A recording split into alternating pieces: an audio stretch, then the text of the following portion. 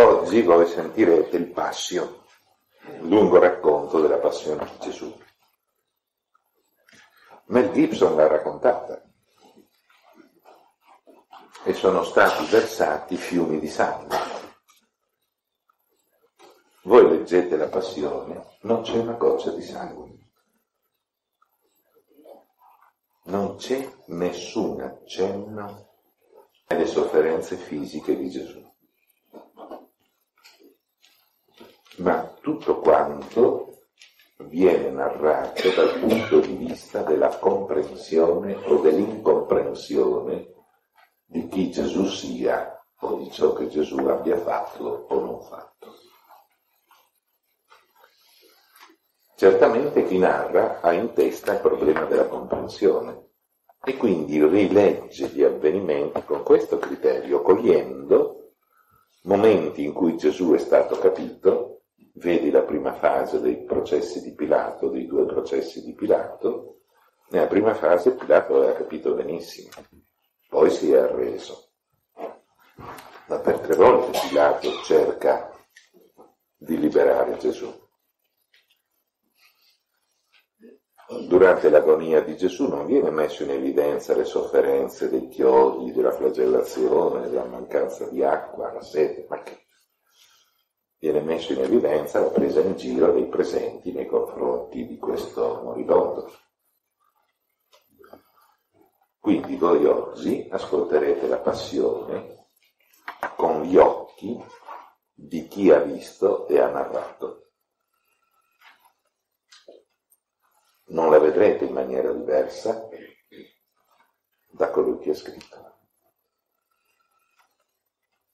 Detto questo, comprendiamo bene che il dire, il nostro dire la verità è un'azione.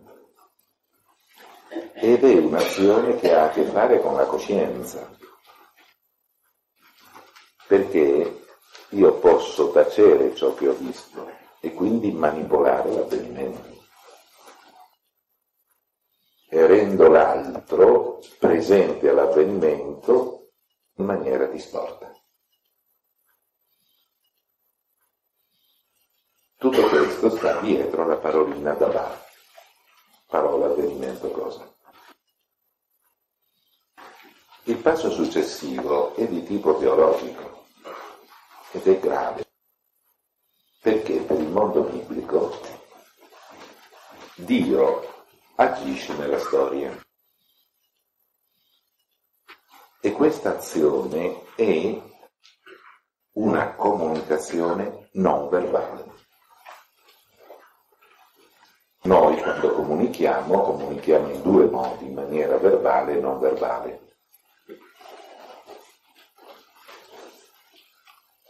Dio comunica spesso in maniera verbale, vedi i profeti, ma molto più spesso in maniera non verbale, con gli avvenimenti che noi viviamo.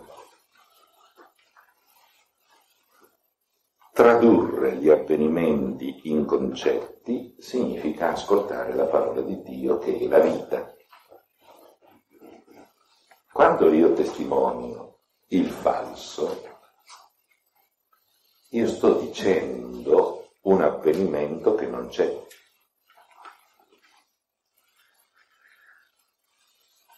Contemporaneamente è come se io dicessi Dio si è comunicato attraverso questo avvenimento che vi sto narrando. Ma quello che stai narrando è falso. E quindi Dio non ha mai detto quella parola che tu adesso pronunci. Perciò fai diventare bugiardo Dio stesso attraverso la tua bugia. Questo si chiama sacrilegio. Capite? Dietro a questo comandamento c'è tutto questo meccanismo. Non c'è solo dunque il danno che tu fai all'imputato, e anche il danno che tu fai al giudice, perché allora i giudici tutti quando sbagliavano pagavano e pagavano malissimo. Voi pensate che nelle leggi assire, se un giudice sbagliava la condanna e condannava a morte l'imputato e poi risultava sbagliata, o veniva ucciso lui o un suo figlio.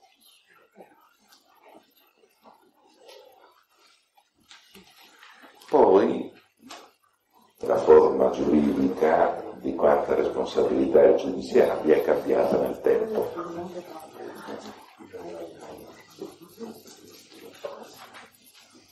Oggi noi abbiamo una, almeno questo è ciò che io so e non so se so tutto, abbiamo la responsabilità del giudice quando è dimostrato il dolo del giudice. Ma non è contemplata, per esempio, la poca attenzione nel reperire testimoni, nell'interrogare i testimoni e nel rendersi conto se i testimoni sono credibili o meno. Questo è una zona inesplorata come responsabilità nel nostro ordinamento giuridico giusto, non giusto, non spetta a me giudicare, però diciamo che nel mondo orientale antico le cose erano strettamente molto più crude e severe.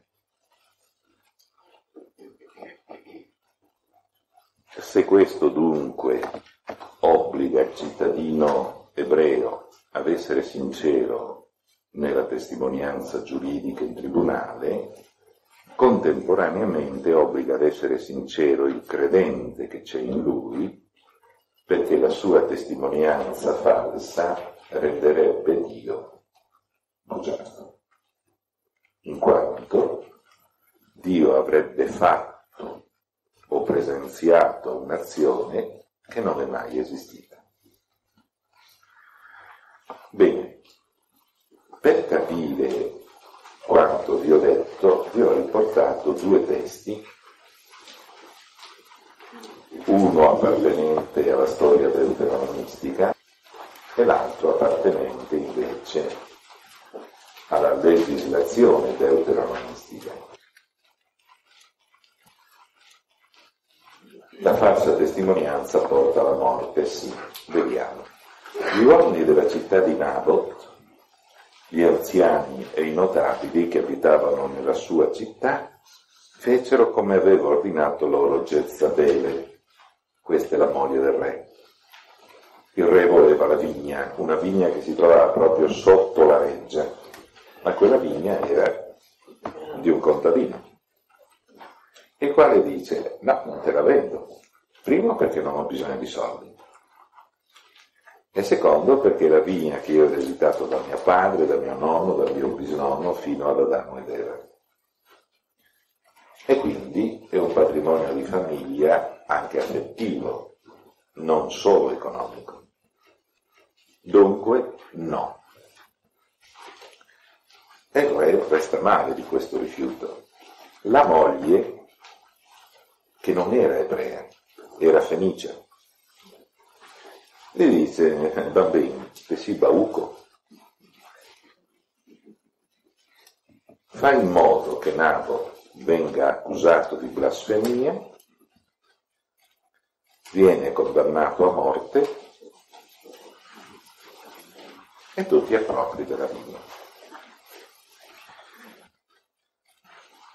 Il re accetta. Jezabele immediatamente scrive agli anziani e ai notabili e dice, nella lettera che si trova prima del brano che noi stiamo leggendo, si dice fate così e così. E adesso vediamo.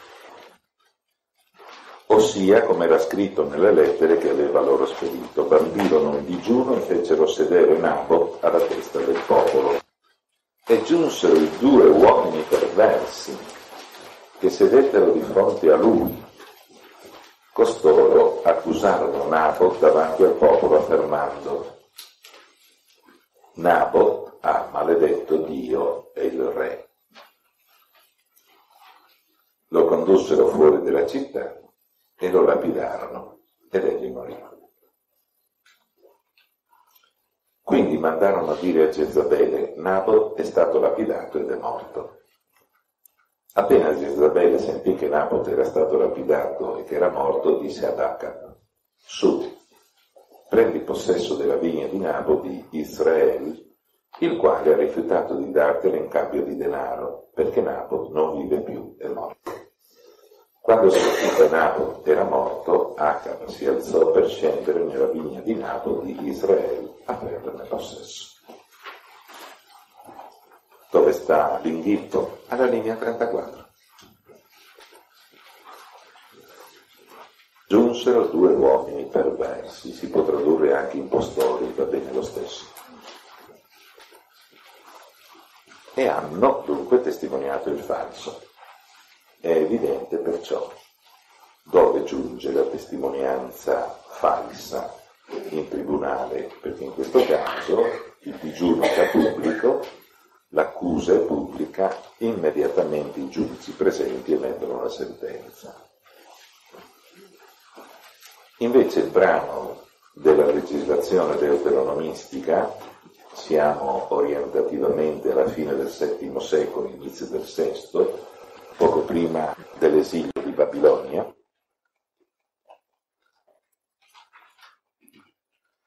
i giudici indagheranno con diligenza e se quel testimone risulta falso perché ha deposto il falso contro il suo fratello, farete a lui quello che egli aveva pensato di fare al suo fratello. Così estirperai il male in mezzo a te. Gli altri verranno a saperlo e ne avranno paura e non commetteranno più in mezzo a te una tale azione malvagia. Certamente l'impianto giuridico di Israele era serio, la prassi sappiamo che non era così, ma la legge era questa.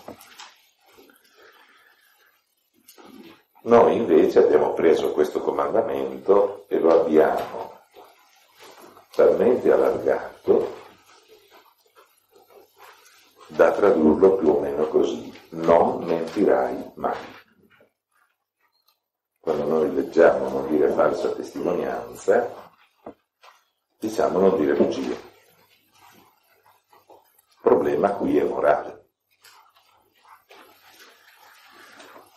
Risente in parte della mentalità biblica, fai dire a Dio quello che Dio non ha mai detto, perché anche per il cristiano la storia è parola di Dio.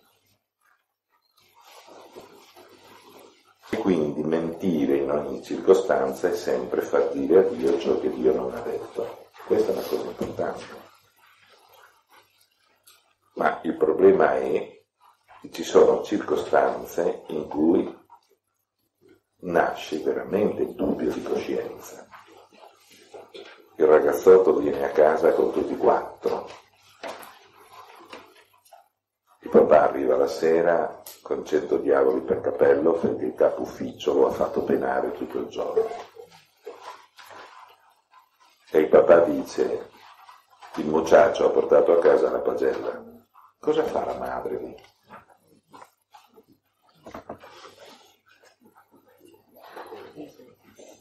Se le dice sì, viene fuori una macelleria.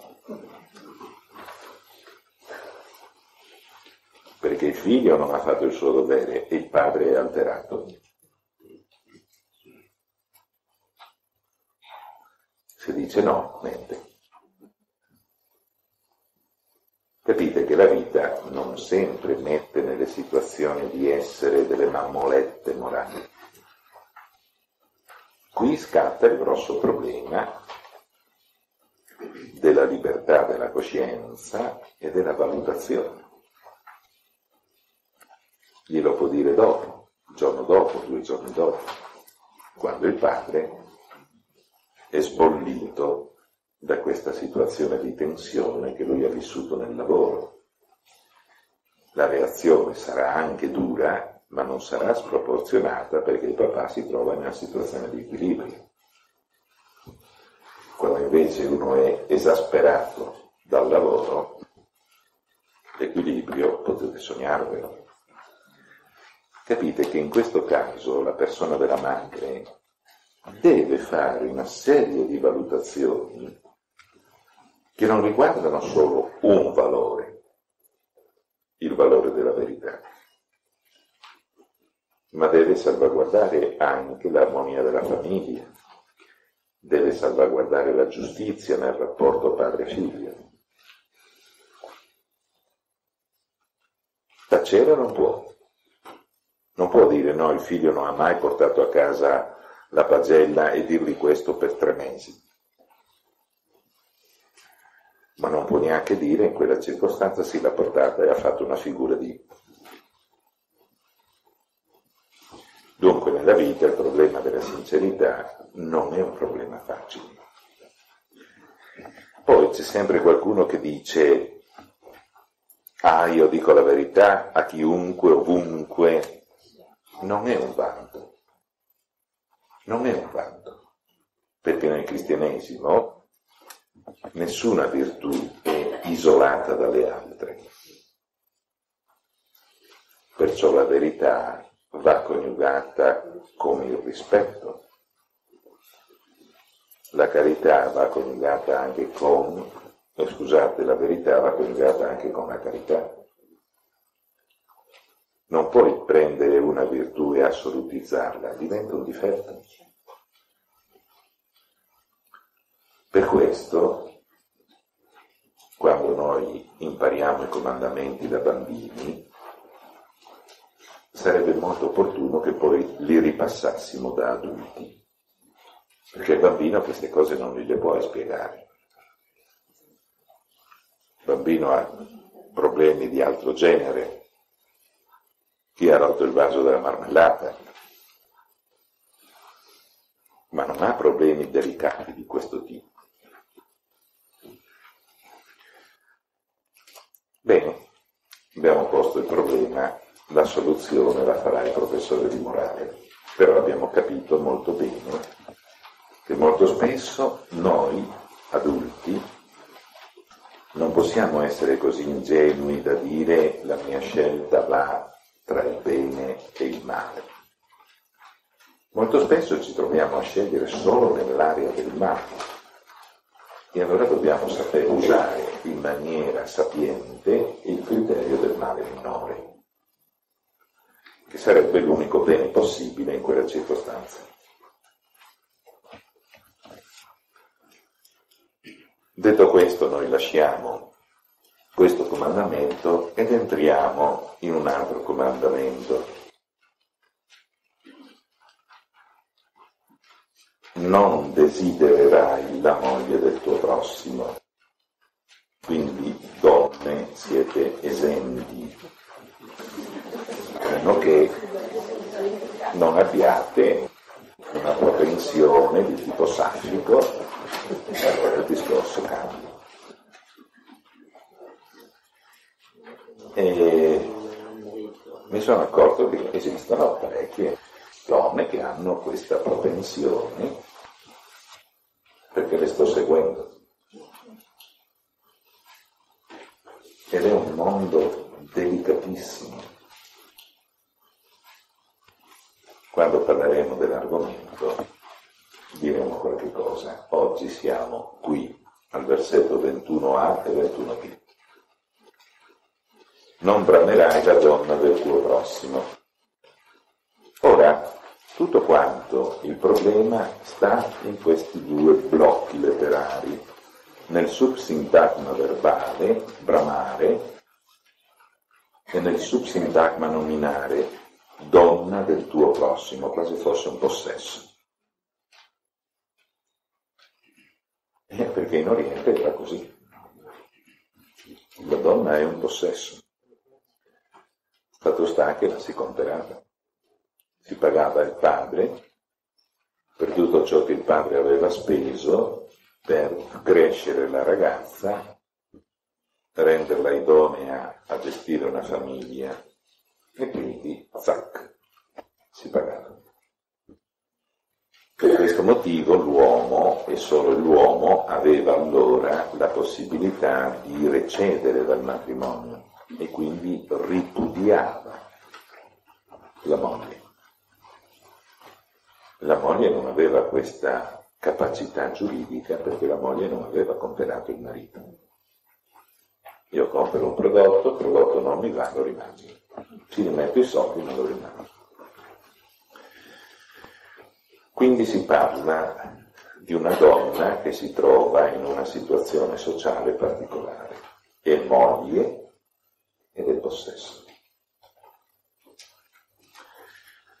Certamente da quel poco che noi conosciamo questa seconda dimensione non veniva evidenziata nei rapporti interpersonali tra marito e moglie, anzi è un aspetto odioso che noi per esempio nel Cantico dei Cantici non troviamo.